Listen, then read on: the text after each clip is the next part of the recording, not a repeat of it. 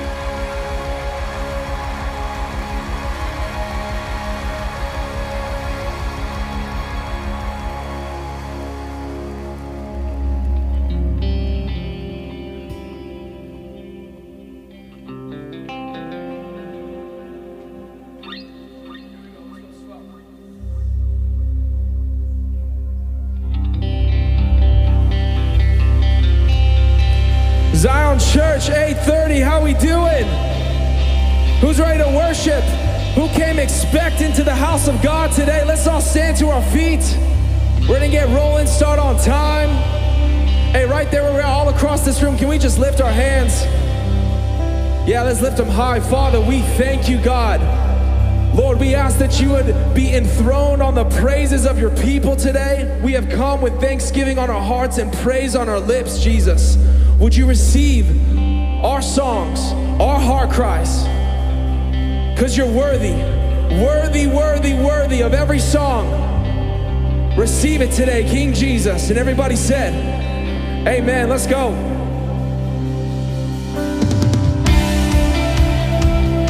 Yes, put together. Hey.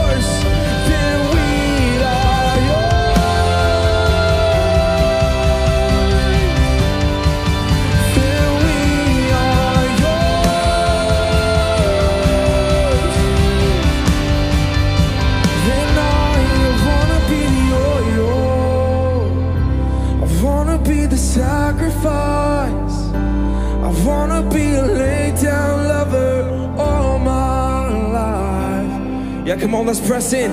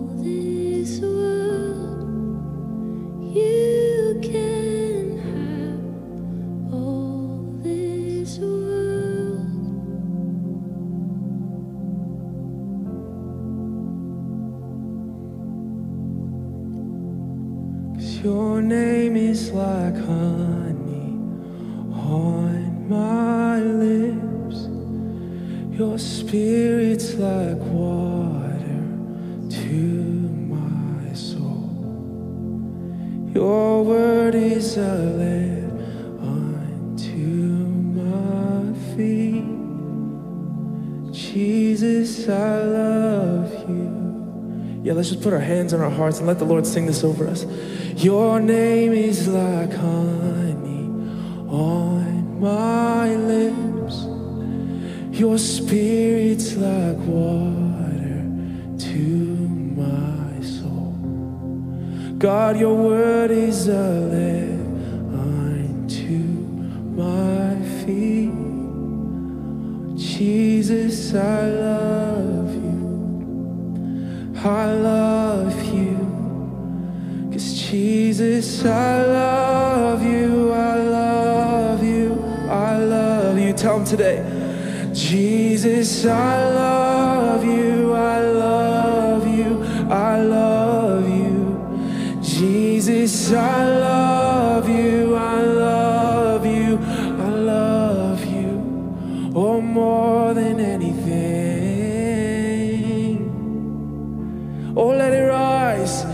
Cause Jesus, I love you. I love you. Jesus, we love you. We love you. That's why we're here today. Jesus, I love you. That's the only reason why we're here. It's for love more than anything. Oh, cause we cry,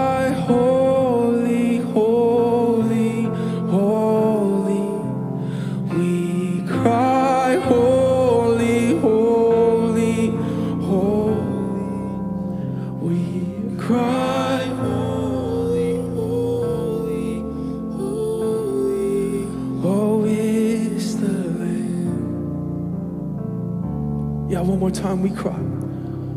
Oh, we cry,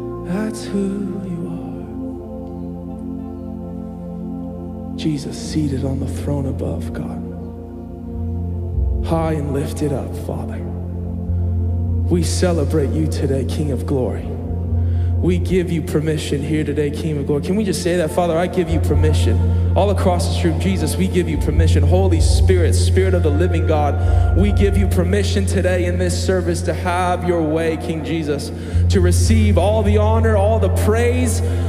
I'm not gonna hold it back today, but I'm gonna open my own lips, my own mouth. I'm not gonna let Joey jump around, make a fool of himself alone. We are gonna lift up a shot of praise today. You guys ready? We're gonna practice, because that's what we're be preaching on today, all right? On the count of three, we're gonna lift up our craziest, most passionate, most Latin American fiery praise scream in this place. Y'all ready? Here we go. One,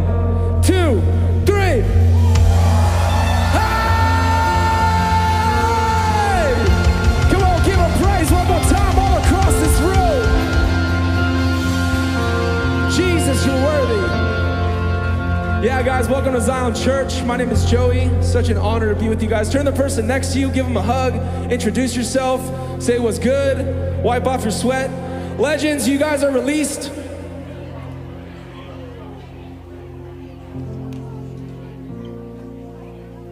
Good morning, Zion. Find your seat. Happy to have you this morning. Good morning, everyone. Well, my name is Logan, and this is Jeremy, and we're excited to be here with you all this morning. But I want to start off by just welcoming first time guests. You know, we know it can be a lot to get here sometimes, and we are truly happy to have you. And we know that God has called you here specifically because He has a plan and a purpose for your life, and we're excited to partner with you, just whatever that is. Yeah, and listen, we had something really special we wanted to share with you today. Uh, about two and a half years ago was the first time we ever did Zion Conference. All right, it was a powerful, powerful weekend, and I know for myself included, for Kendall and I, it was one of our first encounters with Zion. That's where I learned that these people really like to worship. It was a crazy experience. We loved it. And uh, year two was amazing. We did Zion Conference, but not only that, we did Kids Conference for the very first time.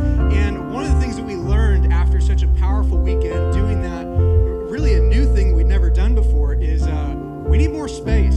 We need more space for our kids because we believe that God is going to grow it. We already had so many kids last year, and so our team has been thinking, hey, what does that actually look like? What does it look like to create space for kids to experience the love of Jesus? And so we wanted to give you a little like a teaser on Friday of this week on social. We're going to be revealing our theme. We're going to be opening registration. We're going to be doing it in the summer. Uh, so it's got its own time, its own date. Uh, we just really believe that's going to allow us to give our full focus, our full attention, and give our very, very best to kids. So again, that's going to be for kids age four all the way to fifth grade. And um, if you don't have a kid that age, you can volunteer. You can help. So if you're interested in that, let me know. Let somebody else know on our staff or the Connect booth outside, and we would love to get you plugged in. Yeah, and one of the best ways to stay connected here at Zion is actually through this Connect card here. No, I know for my wife and I, when we first started coming to Zion, we were just really looking for a community of believers just to do life with. And two and a half years ago, we just kind of took that next step and filled out one of these Connect cards, and we got plugged into our life group. And I can truly tell you guys that that has changed our lives for the better. It's they've really become not only of our best friends, but we've gone through a lot of loss this year and I've had a lot of lung problems this year, and it's amazing knowing that every single day I have a community back behind me of someone praying for me and really contending for me of just everything that we're um, that we're having. So I encourage you fill out these connect cards, bring it to that next steps booth in the back, and we'll actually have a special gift for you back there as well. Go. As we shift into a time of giving, I wanted to highlight one of America's favorite holidays. In fact, it's coming up tomorrow. It's called Tax Day. uh, listen, uh, I'm one of those guys. I'm a I'm a planner, so I, I'm the sort of person who, like, as soon as I get my paperwork, I like put it into TurboTax. I want to know, like, how much am I going to owe this year? Um, I see some people like with their phones are like, was tax day actually tomorrow? This is a little. That's a free reminder for you. But anyway, I was putting it in, and and I realized we actually owed more money than we anticipated. Ever been there? That was kind of our, our seat. And so the last couple months, Kendall and I have been like, all right, cool, let's save, let's prepare, let's get ready for. Just this past week, I got a call from somebody in my family. And they said, hey, I just filed my taxes. Uh, every year, I set aside a certain amount that I expect to pay. And I just had money left over. Like I owed less money than I would normally do somehow. And uh, I was thinking, God, what, what should I do with the leftover? And I just thought of you and Kendall. And guess what, guys? Here's the thing it was exactly the gap that we had with. Like, how amazing is that? I wanted to read something for you. In, in the book of James, chapter 1, it says this it says that everything that is good and perfect is a gift from God. See, here's the thing. I, what I'm not saying is if you show up to church and you obey God and you do this, that God is just going to give you surprise checks all the time. That, that's not what we're teaching here. That's not a prosperity gospel thing. But what I am saying is everything we have is a gift from God. And when we talk about giving, giving is a way that we acknowledge that all these things come from God. And sometimes I just feel like in this moment, even as I say that, there might be someone in the crowd saying, I don't know, man. I don't know. I think I am where I am because of my hard work. But let me ask you something. If you're an engineer, who do you think gave you that creativity? If you're an athlete, who do you think gave you that ability? If you're a business leader, who gave you that intellect? Like everything we have is a gift from God. Everything we are is a gift from God. And one of the ways that we worship is by saying, God, I see that. I acknowledge it. I thank you for that. And I'm going to give back as an act of trust and an act of worship. So if you want to actually give in that way today, if you're ready for that step, there are three ways you can do it. You can text the number on screen, 84321, text any amount. Um, you can do it the old fashioned way. We got a giving box in the back. And I think the easiest way to do it, we've got a little QR code on that Connect card on your seat. It'll take you exactly where you need to go on our website, and you can do it there.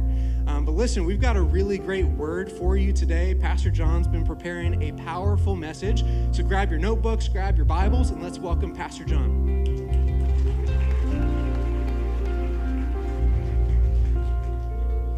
Good morning. Hey, I want to take a moment and greet our Zion online family. Can we clap one more time and just welcome everyone that's joining us online? Thank you so much for joining us. We love you wherever you're streaming in from. Uh, man, I meet people all of the time that say, Hey, I'm a part of the online family. And uh, I always appreciate it. They say, uh, when you uh, just even recognize the fact that I am here uh, on the other side. And uh, we, you know, we just want to make sure that every single person knows whether you're in the room or whether you're streaming online or whether you're hearing this in your car or maybe on a workout that you are loved, that you're seen, that you're cared for, that we would love to connect with you. Uh, there are people on the other side of the YouTube chat that are literally right now uh, ready to connect with you, pray for you if you got stuff that you're going through in life, and uh, give you some, some support in your spiritual journey. I'm so happy to be with you guys today. The sun is out. The sun is out. Who would think that would be something to celebrate here in South Orange County? but this year has been been kind of interesting. But man, I am so excited for the word that God has put on my heart today. Are you guys ready to lean in? You ready for God's word? If you are, say uh-huh. If you want to grow in your faith, say let's grow. Okay. Man, I'm ready. Luke 19 is where we're going to jump in. And if you have a copy of the scriptures, if you have a Bible app, it's going to be in the New Living Translation, Luke 19. It'll be on the big screen behind me. You can follow along. Verse 37 in Luke 19, it says this When he reached the place where the road started down the Mount of Olives, all of his followers began to shout and sing as they walked along, praising God for all the wonderful miracles they had seen. Blessings on the King who comes in the name of the Lord, peace in heaven and glory in highest heaven. But some of the Pharisees among the crowd said, Teacher, rebuke your followers for saying things like that. And Jesus replied, If they keep quiet, the stones along the road would burst into tears. But as he came closer to Jerusalem and saw the city ahead, he began to weep. How I wish today that you, of all people, would understand the way to peace. But now it's too late, and peace is hidden from your eyes. The title of my message this morning is The Rocks Won't Show Me Up. The rocks won't show me up. Father, I pray that in this house today we would get a revelation from your word. That as we come into this place and space, we're aware of your presence. We're aware that we come here not first and foremost to get something that we need, we come here to give you what you deserve. That your church is not a place that is simply to provide helpful tips how to live a better life, but your church is a place of worship. Your church is a house of prayer. Your church is a place where your presence dwells. And Lord, we pray that in this place you would be glorified and you would be honored and you would get the praise and the glory that you deserve. May you speak through me and activate us as a church to live, love, and look like you today, Jesus, in your name. And everyone said, Amen. Amen. Thanks for your grace with me. I'm struggling with a cold right now, so I'm going to do a little powerful pause here. And you can think about the title of my message as I drink a little water. What does he mean the rocks won't show me up? That's what you're supposed to be asking right now. Today, I want to talk about the power of praise. And I want to talk a little bit about the cost of keeping our lips locked. Because many of us, we know um, what praise is. We know that it's, it's something that we just did, it's something that declares the glory of who God is, it's something that proclaims God's goodness, it's something that, that, that we do that thanks God for what He has done in our lives, but at times we don't know the power that comes from it. And sometimes we also don't know the power on the other side that the enemy likes to use to keep us locked in our lips and what it can do to cause things to fester and to grow things like doubt things like worry things like competition criticism and comparison and but today I want to focus on the power of praise. In the passage that we just read in Luke chapter 19, Jesus the King enters the city of Jerusalem, and we see two groups of people that experienced the same reality but had a different response. The same reality, but a different response. We were at Ruby's Diner yesterday morning with our boys. We took them to Cars and Coffee, and uh, anyone do like ever do the Cars and Coffee thing? It's pre- it's it, it's pretty cool. A dude from Detroit. I like my cars, and I like my coffee. So two great things. Um, we brought the kids, and they were loving it. And I told Kellen not to lean on that Lamborghini, but he did it anyway. And I'm like, oh man, where's the owner? Let's get out of here. So we went to Ruby's Diner and we all ordered food, and uh, I got the eggs Benedict, and I don't know, interesting choice. I just I don't know, I was feeling it, and I ate the eggs Benedict, and as we were leaving, uh, Taryn noticed that there was someone else that ordered the eggs Benedict, and we saw as we were walking out of the restaurant that this individual was not only eating the eggs Benedict, but was using a straw to drink up the entirety of the hollandaise sauce on his plate. And this was not a child, this was a grown man, just like me. And my first thought was, that's disgusting. And my second thought was, I kind of respect that. I'm like, way to get after it. Way to just like get all of the life out of this experience. You know? What we had the same meal, but two different responses. Same reality, different response.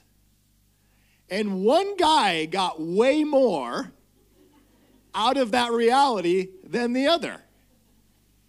And the reality in life and the reality in Christian faith is that we all have the same reality. But it's your response that will make the difference when it comes to your life experience. The same reality is that Jesus loves you, Jesus saved you, Jesus rose from the grave, and if you have said yes to Jesus, you have his life, you're going to heaven, and you have eternal life here today. But the reality is that there are some people who are saved and on their way to heaven, and yet still living in a prison of fear, doubt, worry, apathy. And there are other people that are living with power, peace, confidence, joy, strength. They've broken free from fear. They're consistently growing in the in their faith. They're they're they're alive even when times are tough. They have joy. They have a, a perspective that gets above the clouds in life, and they are living with a genuine life giving atmosphere. And it's all based on your response. See, the experience of your life really isn't based upon the realities of what happened to you, it's based upon how you respond to what happens to you in life. And we see two different types of people that have the same reality. The King Jesus enters in the city of Jerusalem on a donkey in Luke chapter 19, but two different responses, and it changes everything. You have the people who see Jesus, his disciples, his followers, for who he is, the king, and they praise him. And it says that these people not only experience the joy of that moment, but they eventually change the world. Then you have the Pharisees who kept silent, and they eventually were the ones who yelled, Crucify him. Same reality, different responses. And what I see is that when you lack praise, stuff dies. And I've noticed this. This is this is something that I've I've noticed. I mean, um, I have friends that you know I I went to school with these friends in seminary, and I remember in seminary going through all of this study about God. It was powerful information, but it was during that season that I was the driest because I had grown up in a Pentecostal church that was all about praise and worship, and we created environments and experiences to encounter the presence of God. But then there was a season in my life where I was like, just give me the meat, just give me the word. Give me the, I just want to go to a fill in the blank church so that I can fill in some blanks and feel like I've learned a few things and, and leave and, and have some handles and information about God, and that'll do it for me. And I tried that for a long time. And, and even during my Bible college and seminary years, I went to those kinds of churches. And what I found was that I was learning a lot about God, but I was still distant from God. I was around Jesus, but distant from Jesus. I had information about God's heart, but I didn't have God's heart.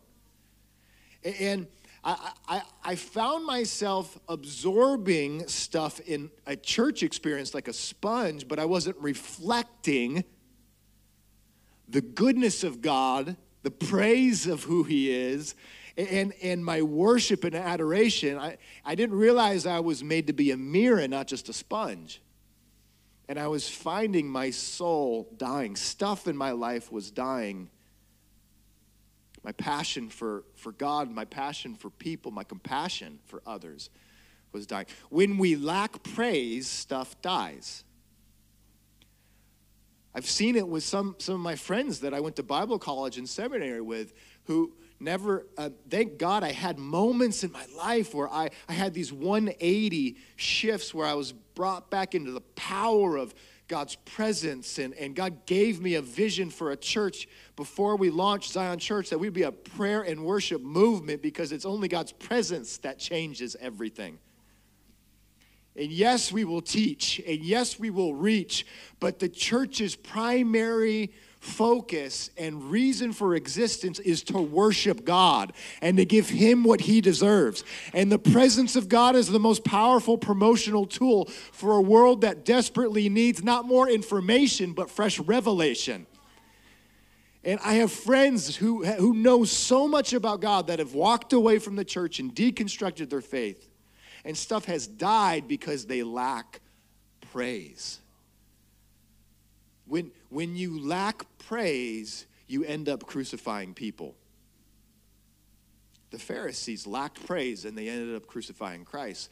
When you lack praise, you'll end up criticizing people. I, I, I find it time and time again the, the people that struggle with the most bitterness, criticism, um,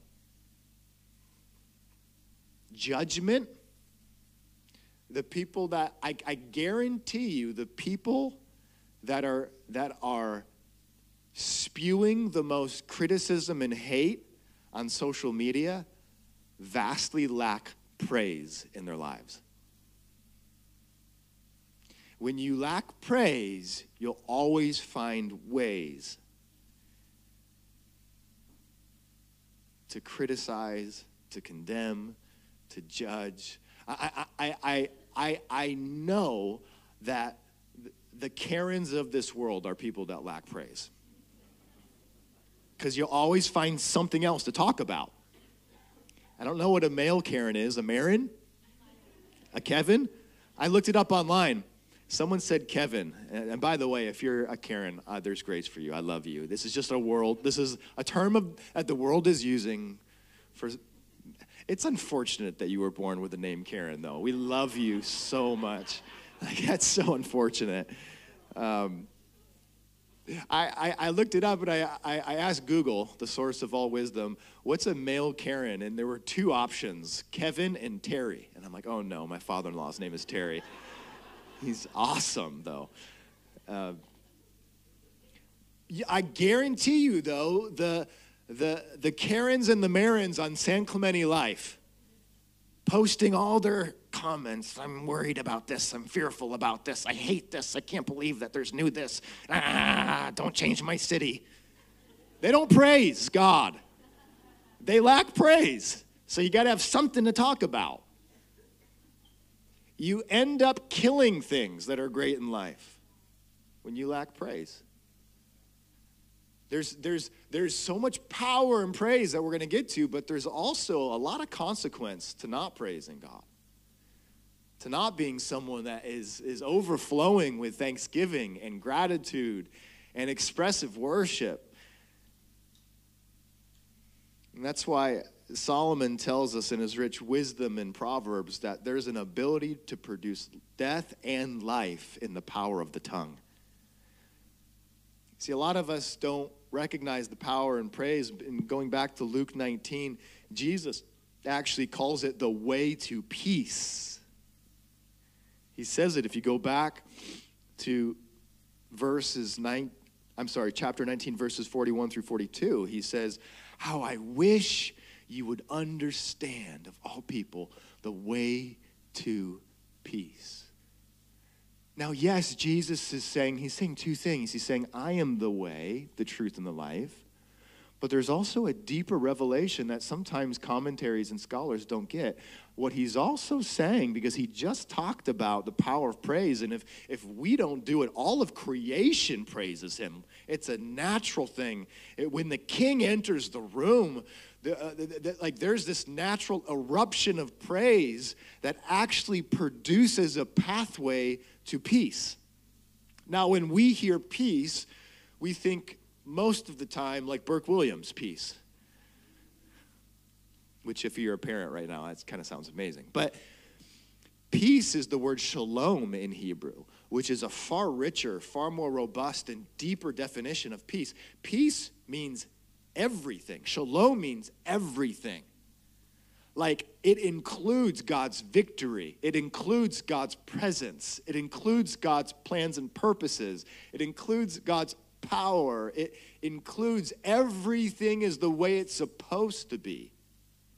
And Jesus says that the pathway to this peace, or let- let's call it life that you want, the pathway is through the power of praise. The power of praise. He says that the way to experience God's perspective, his peace, his presence, and power is through the pathway of praise. When Jesus entered into the city of Jerusalem on a donkey, and, and he's the humble king that comes to save his people. When we go back to verses 37 and 38, it said that his followers began to shout and sing as they walked along, praising God for all the wonderful miracles they had seen. And here's what they said they gave a, a reason for their shouting, a reason for their singing, a reason for their worship and their praise. Blessings on the King. They saw Jesus as King, who comes in the name of the Lord. Peace in heaven and glory in the highest heaven. Where God is praised, God is King. Conversely, where God isn't king, God isn't praised. You can always tell if a church has made Jesus not just their Savior, but their King by their praise and worship experience. See, a lot of churches have made Jesus their Savior, and they're thankful that Jesus is their Savior. But you know that Jesus is truly King at a church in their praise and their worship experience. The atmosphere of praise and worship will be the definition if Jesus is not just the Savior of our sins, but the King of Kings the Lord of Lords. He's not just our Savior, but He's worthy of all worship and adoration. Why? Because you act different, differently around royalty. When a king, when if you enter the throne room of a king, you act differently. Even physically, here on planet Earth, when there were kingdoms and there were monarchies and, and all that, you bowed before a king. You revered a king with awe and worship. When the king entered the room, there was respect, there was honor, there was admiration, there was reverence, there was, there was a declaration of who the king was. When a king would come back into the city after a military victory, they would gather and praise and hail the king, and they would honor the king for the victory that was accomplished praise is what defines the lordship of Jesus in our life. Psalm 22 3 says, You are holy, enthroned on the praises of Israel. You are holy, enthroned on the praises. Another translation and another way that it said is on the praises of your people. Eh, eh, um, also, God inhabits the praises of his people. Um, when I praise God, there's two things that happen. I'm reminded that there is a king who's in charge that isn't me. And it's the most freeing place that I can be. I'm, I'm reminded when I praise God that this whole thing called life isn't about me, and it's way better that way.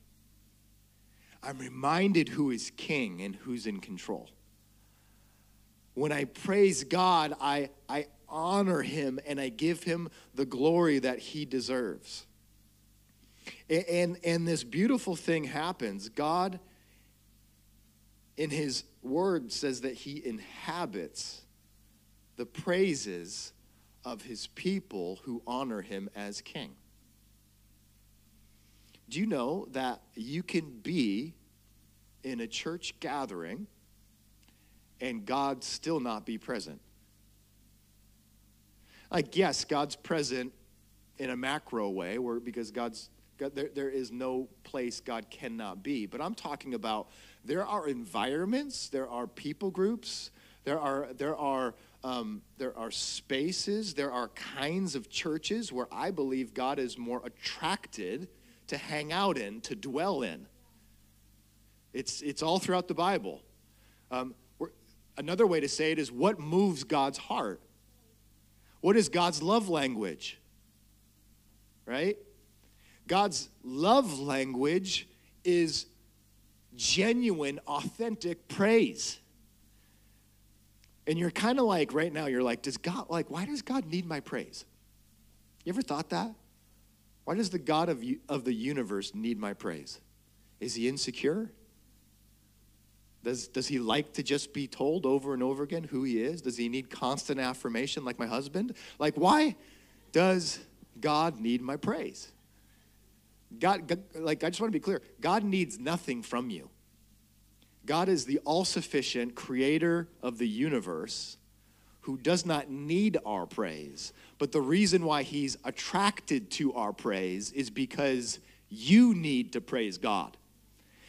Because when you and I praise God, we have a right perspective of who God is. And when we have a right perspective of who God is, all of these worries, all of these fears, all of these doubts, all of these lesser things and lesser concerns wash away and they go beneath us, and we're elevated to where God is. And we begin to receive His thoughts, His revelation, and we also are able to dwell in an atmosphere where His presence abides. He says, When you honor me as king, I love to hang out there. And that's where I love to do my best work. Praise, praise gives us this beautiful uh, pathway where God loves to show up and, and He loves to speak. He loves to minister to our heart's deepest needs. He loves to heal. He loves to give us guidance and power for daily living. When I praise God, my spirit levels up my mind and my heart to where God is. I, I, I get on God's level. Um, there, there's this um, very real thing that's happening right now uh, called it's called cloud seeding. Have you heard of it? Any conspiracy theorists out there? No. See, like like cloud seeding is a real thing that's happening. Um, it's not a conspiracy theory. There are conspiracy theories attached to the reality of what's happening right now. Um, but yeah, it's like a real thing that they're doing with the Santa Ana Watershed Project. It's like a five-year deal where essentially, if you don't know what cloud seeding, and I'm- it's seeding, not seeding like a chair, like seeding, like planting clouds in the sky, sci-fi stuff, but it's happening. Um, they they essentially are are um, taking um, moisture from existing clouds, and they're say they're saying that they're doing it near. Um, areas where it's at the base of mountains and stuff like that so that it gets into the river and there's it increases the water supply and all that sort of stuff i'm not totally convinced that it's just in the mountain areas because i've been experiencing the weather here by the beach um, but it's crazy they're actually planting clouds in this this is the world we live in they are they have scientifically found ways to plant clouds in the sky above us to create more moisture. Did you know that the enemy, the devil, is a cloud seeder in your life? And he loves to plant clouds of disappointment, clouds of worry, clouds of regret, clouds of pain, clouds of discouragement, clouds of denial, clouds of loneliness. He will plant clouds in your life. And it's praise that elevates you above the clouds so that you can experience the goodness of God even in the midst of your pain. You need to get above the clouds. And I know some of us walked in here with heavy stuff. Some of us walked in here with burdens that are, that are so heavy that we're carrying on our shoulders. Some of us walked in with deep discouragement and disappointment. Some of us walked in with pain in our bodies and pain in our minds and pain in our relationships. But I'm telling you, if you, even when you don't feel like it, the power of praise elevates you above the clouds so that your soul gets lighter, so that the air gets clearer, so that you get to see that God is who He said He is, that He will always be faithful, He will always be good. He is the first and the last. He is who He always will be, and He will never change, and He loves you, and He's for you. And this is not the end of your story. It's praise that actually elevates you above the clouds because you declare who God is and what He's done. I was sick this past week, and um, there are two types of people in this world those that, that get sick a lot and you never know about it, and it, it's, it's just moms. That's just moms. You just, they're sick all the time, but you never know about it because they don't talk about it. Then the other type of people, they're rarely sick, but when they do, they tell everybody about it. That's me. And, and so, you know, I was sick this past week. You can hear a little bit, and I'm like, oh, life is over. I always feel like like I will never be well again when I'm sick. You know, I'm so dramatic. And on Friday morning, I was just like, "Hey, you know, talking to Taryn, my throat hurts. I got a headache." And she literally said, "Hey, get upstairs. I'll I'll watch the kids take 20 minutes. Go spend time with God. Go praise God." I'm like, "Okay."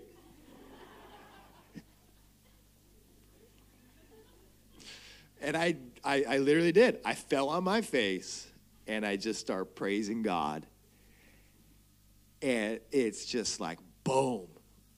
Like, my soul came to life again. My, it's like I was reconnected with the presence of God, and and eh, you know, and, and you know, stuff came out right that was like, oh, I'm carrying this. It wasn't just a headache, but it's like, oh, I'm carrying this stress and this thing that's overwhelming me and this thing that I'm just thinking about that I feel like I have to fix today. And God was like, Get on my level. I am the King of Kings. I am the Lord of Lords. I am in control. I am the way maker. I am Jehovah Jireh, the provider. John, remember when I saved you from that? Remember when I provided for you back then? John, remember who you were and now who you are. And it was like in 20 minutes through praise and worship, God elevated me and I walked out of that room lighter.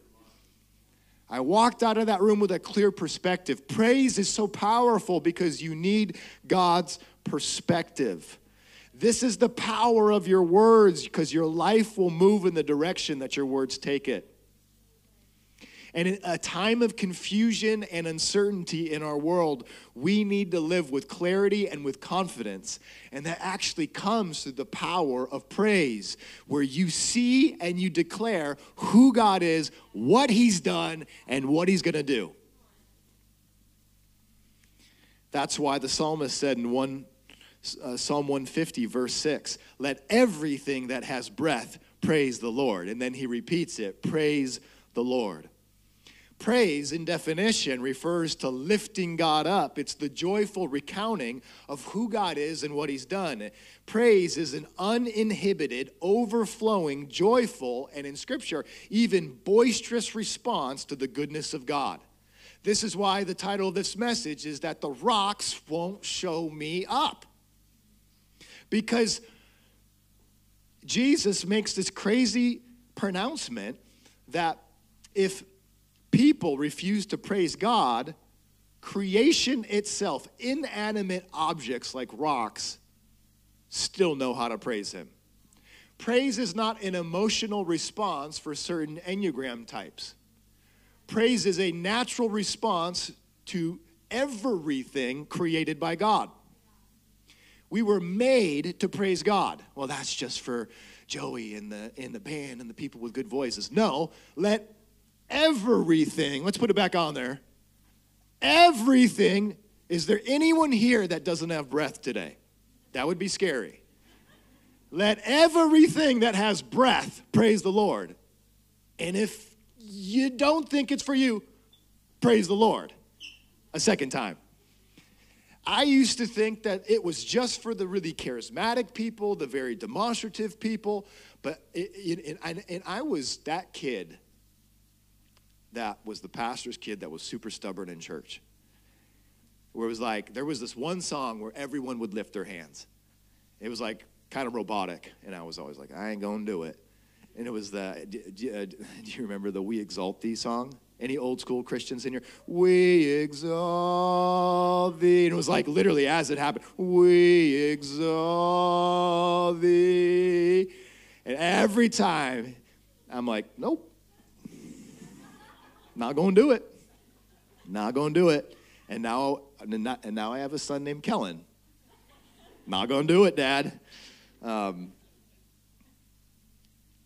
and because I always was just like, no, that's for that kind of personality. That's that's for that person. I'm not gonna sing. I'm not gonna look weird. I'm not gonna be kind of kooky, spooky. Like uh, like I'm not gonna be that person. That's not me. That's that's for Pastor Hal. We literally had a Pastor Hal, um, but that's not my deal. And let everything, let everyone everyone, not for some people and for some personalities. Praise offers power for every personality. Let everything that has breath praise the Lord. And I have found so much freedom in my life from breaking free from my insecurities, breaking free from my pride, breaking free from my past experience, breaking free from feeling like this is manipulation or feeling like this is mechanical, breaking free and just going, No, I was made to praise God. I was made to worship Him. I, I, I may not have the, the quality of voice that Joey Molina has, aka the Christian Justin Bieber, but God didn't ask me to make a perfect noise to Him. He asked me to make a joyful noise to Him. And I can do that. Let everything that has breath praise the Lord. Why would the Bible tell us to do it? Because it's powerful, because it's life giving, because it's freeing, because it gets you out of your image consciousness, because it gets you out of the fear of man, because it makes you available for God to bless you when you know how to worship Him and praise Him and get proper perspective for your life. Worship in heaven is not contemplative. That's just not my thing. This is how I praise the Lord. No, you don't. That's not praising God. That's thinking about God. That's okay. But we can't act like stuff is that isn't. Worship in heaven, when you get a picture of the throne room in heaven, worship in heaven is loud. Worship in heaven is boisterous. Worship in heaven is holy, holy, holy is the Lord God Almighty. Worthy, worthy, worthy is the Lamb who was slain. Glory, glory, glory, and honor and power due your name. Worship in heaven is demonstrative. People don't just stand around with a coffee in their hand. When you're in the presence of God, all throughout Scripture, people fall on their feet here on earth and in heaven. They fall on their face as if they were dead because they're in the presence of the King of the universe who has fire in his eyes and lightning flashes and, and thunder flashes from the throne. If thunder can flash, it's going to happen in heaven. But this is what heaven, like, like this is what we're going to. Like, this is the reality of who God is. Like people are laying their crowns down. People are bowing. Like, like stuff is loud and expressive and joyful and life filling. This is what praise is all about. Man, give us a loud church, God. How about that? Give us a boisterous church. Give us a give us a, a church like you know i had a I- like i was even prepping this message differently like throughout the week and i, I really felt the lord like i was actually in line at chick-fil-a last night. That's where the lord speaks to me. I was like i've been prepping the message for a while you know and i had already been prepping. It's not just on saturdays but i just want i, I was like okay putting things together and it, like it was a very linear message on the power praise. I was going to give you four keys to the power praise and god was saying hey john would you be willing for like for, for me just to mess this up I said, "Uh, yeah, mess it up. And, and, and, and I just felt like God was like, will you just, will you, like, will you just allow me to mess this up a little bit when it comes to this thing called church? Like, sometimes we, we just we come in and it's everything is so mechanical in our christian life if we're not careful and it could become so routine where it's like get the kids in the car or i get in the car and then i get the coffee and then we do a couple songs and then there's that host block moment and then there's the giving moment where i try to tune out and then there's the message moment i'm just kidding. You guys are you guys are really generous. You're not like other churches but sometimes people t- tune that out. And then okay i know he's going to give me the ted talk the message. I'm going to get maybe a couple takeaways and then there's maybe a closing song maybe some people for prayer and then i'm going to go maybe you know connect with some friends. Sometimes we need god to mess up our church services. Sometimes we need god to mess us up. When's the last time you got messed up in the presence of god? When's the last time you cried? And it doesn't mean that you have to be emotional but when's the last time that you did something uncomfortable When's the last time you got out of your, out of your comfort zone? Because worship is messy. Worship is expressive. Worship is demonstrative. Worship is passionate. Because love is not supposed to look professional. I'm so sick of trying to be a professional Christian when God has always called us to be children who put their hands up and say, God, I desperately need you. I don't care what I look like. God did not call us to be religious professionals, He called us to be children. And sometimes we can get too cute with it, and sometimes we can become religious professionals. And, and, and God, God wants to God wants to take us beyond our comfort to give us the life that we actually want. See, the Pharisees, they were uncomfortable with this kind of praise, and, and, and um, they, they missed their moment with Jesus. Uh, Scripture says they missed their moment of visitation. And, and, and, you might be here and you might be, well, I, I'm not comfortable lifting my hands. And- And lifting your hands, by the way, isn't an emotional thing. It's actually a Hebrew like word when it comes to praise. It's a Hebrew form of praise. It's, it's, there are different ways that we're actually instructed to praise the Lord. And it's actually a form of praise that lifts God up and also declares our need and our dependency for Him. I'm not comfortable. Well, get comfortable with it. he got quiet. Get comfortable with it. I guess that's okay. Like, there are a lot of things in my spiritual journey that I was uncomfortable with that I'm now very comfortable with. All you got to do is go, oh, okay, there's power in that. Cool, I'm gonna try it. I'm gonna practice it. I'm gonna experiment with it. And I'm gonna actually give God my worship. I'm gonna give God my praise. It's gonna be uncomfortable until it becomes comfortable. See, God came in the form of Jesus to comfort the afflicted, and he came to afflict the comfortable. And sometimes we need God to take us out of our comfort zones and, and, and bring us into the most powerful form of praise. Are you ready for it? It's called a sacrifice of praise. And in Luke 19, Jesus enters as king, and the people laid down their coats and offered it to the feet of Jesus. It was costly, in other words.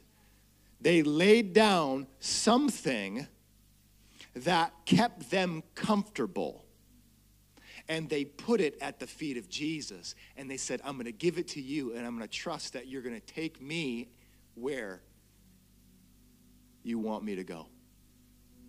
What is your coat? Is it singing? What, what, what, what is your coat that keeps you comfortable? Is it, is it lifting your hands? What is your coat? Is it shouting? Is it declaring who God is out loud? What's your coat? Is it dancing? That's my coat, by the way.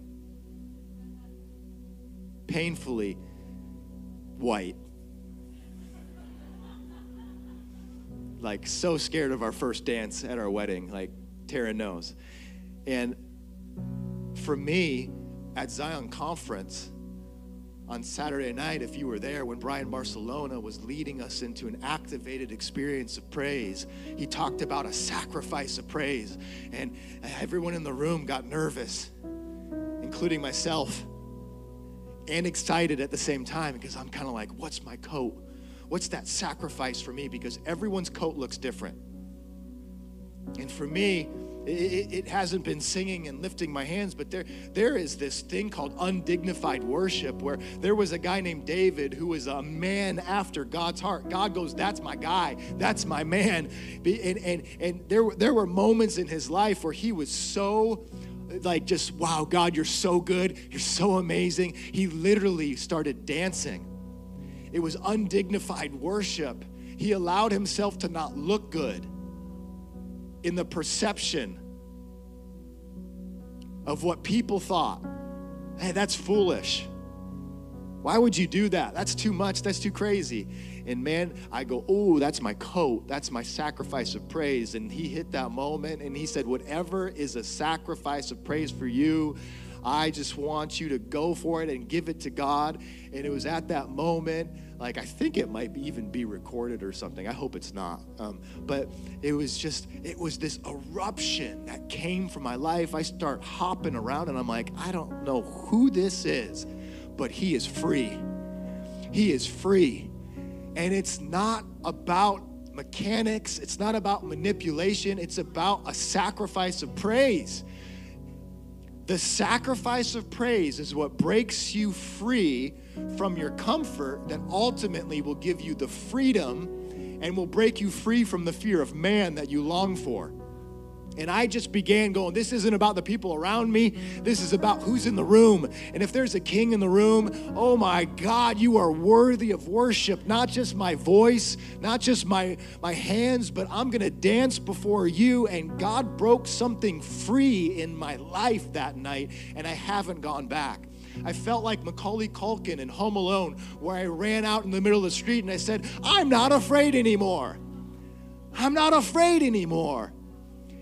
And this is the power of praise, where you can literally do something as a spiritual practice that will help you walk outside this room and go, I'm not afraid anymore.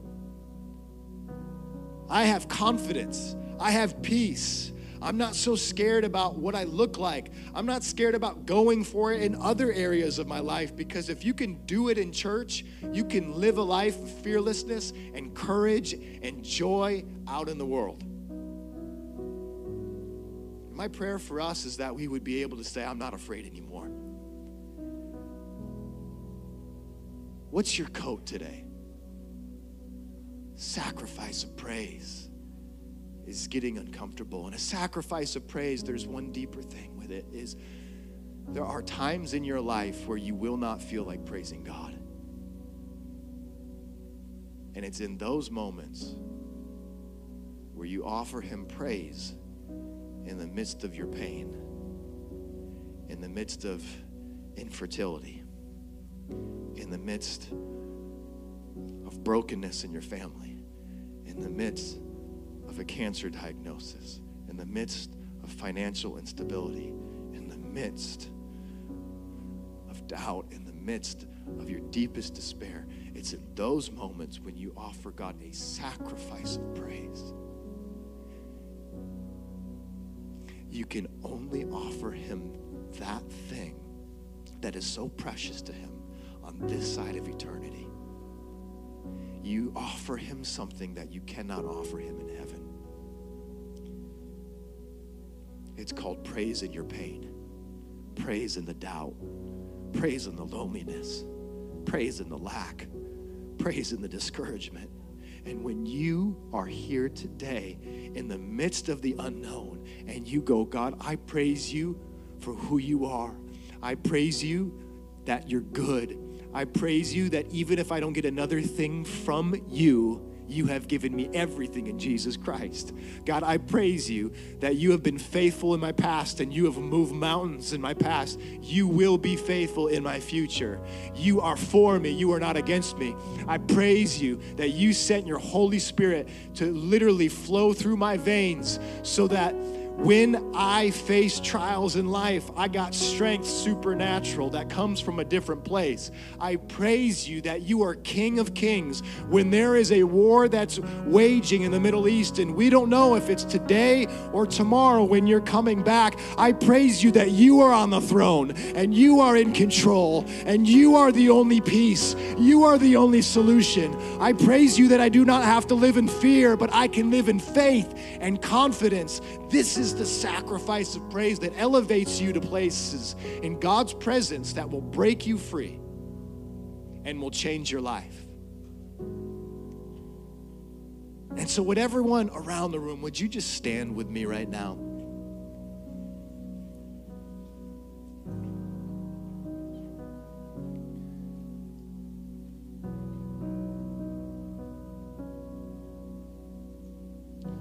And just just close your eyes right where you are. I actually want you just to close your eyes. And i want you to imagine yourself.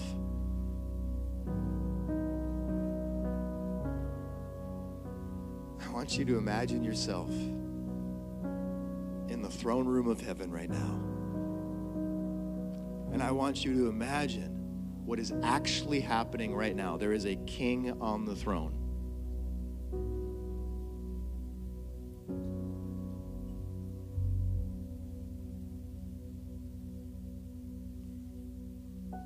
And I want you to put yourself there right now.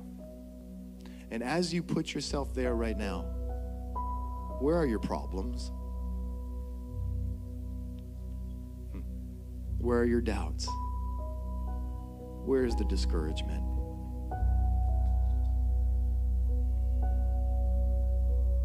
What's holding you back?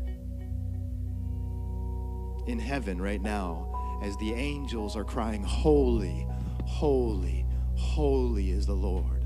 Worthy, worthy, worthy is the Lamb who is slain. Glory, glory, glory to the one who has the keys to hell, death, and the grave, the risen King. Glory to the one. Put yourself there. Glory to the one who died but is now alive. Glory to the one who came riding in to the city of Jerusalem on a donkey, but one day, maybe very soon, is going to come riding back to the city of Jerusalem on a white horse with fire in his eyes, and he will make all things right, and he will bring peace to the earth, and he will bring his rule and his reign. Put yourself there. Put yourself there. Right in this place, begin to put yourself there with your lips and begin to thank Him for who He is. Even right now, as the band plays, begin to thank Him for who God is. There's a praise that only you can offer God out of your mouth. If you don't know what to praise Him for, just say, Jesus, thank you for saving me. Jesus, thank you that you are King. Jesus, there's no one like you. Jesus, may you be lifted up. Out of your lips right now, begin to praise Him for what He's done. What has He saved you from? I just want to activate you. Church, be activated today. This is a house of worship. This is a house of praise. This is a house of thanksgiving. This is a house that is meant to honor God. Thank Him for saving you from your sins. Thank you for freeing you from your addiction. Thank you for giving you a marriage and a family. Thank you for your kids. Thank you. Worship God right now. All across this place, lift up your voices. Lift up your voices right now. Worship the Lord. Lift up your hands all across this place. Give God your give God your body. May your body be submitted to the lordship of God. Honor the king in this room. There is no one like you.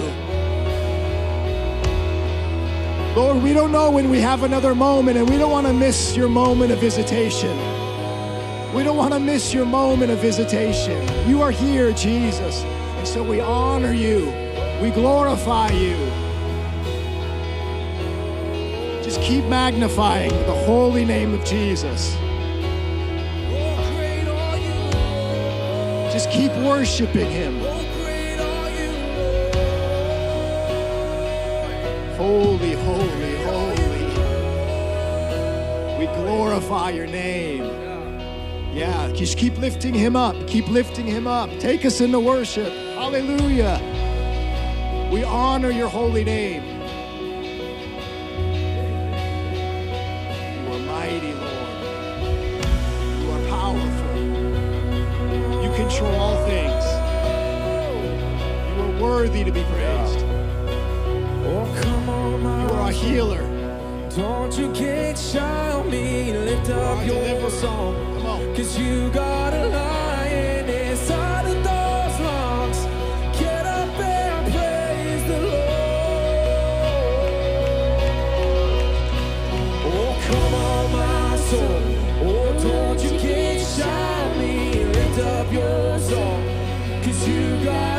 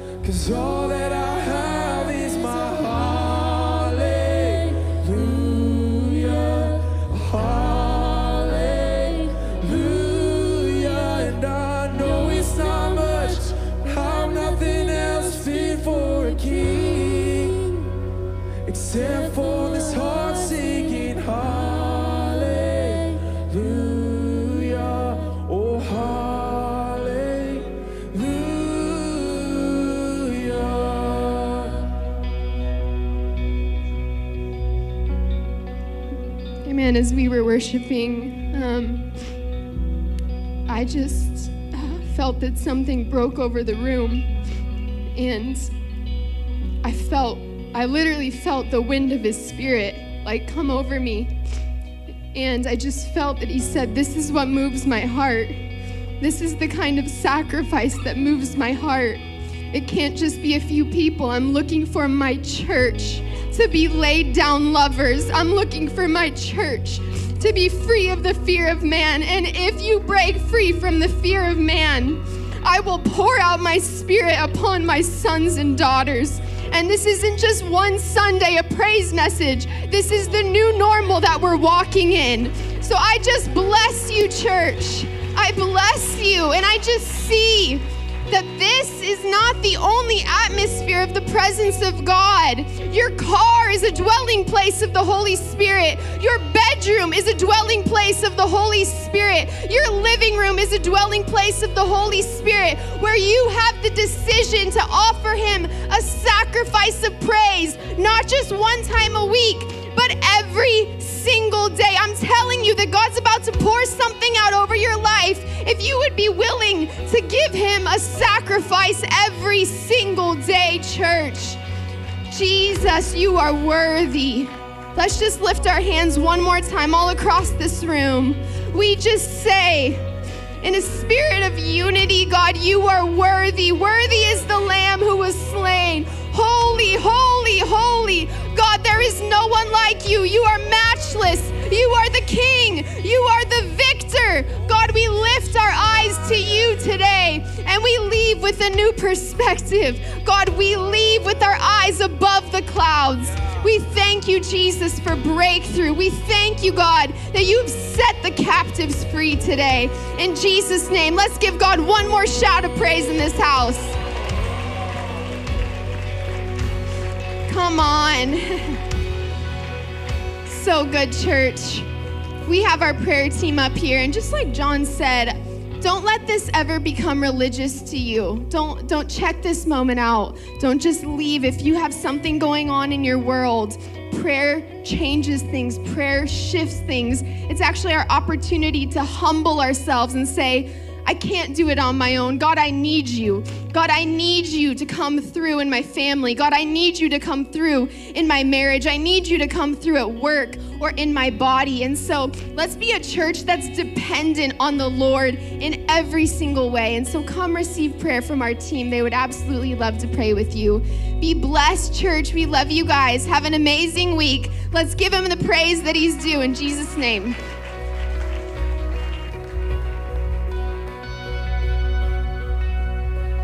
Come on, my soul. Don't you get shy on me, lift up your song.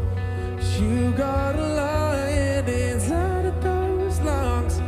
Get up and praise the Lord. Oh, come on, my soul. Oh, don't you get shy on me, lift up your song. Cause you got a lion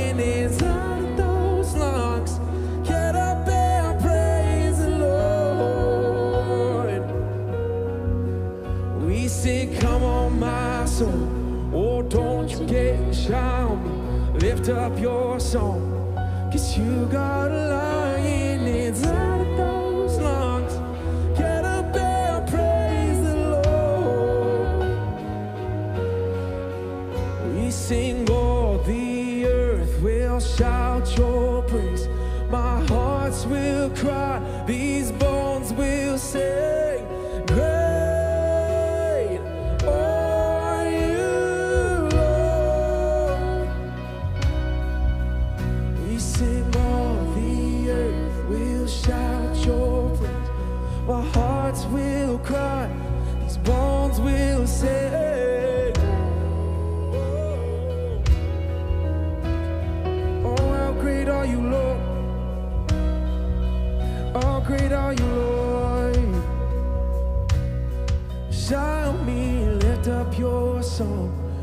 You got a lion inside of those lungs.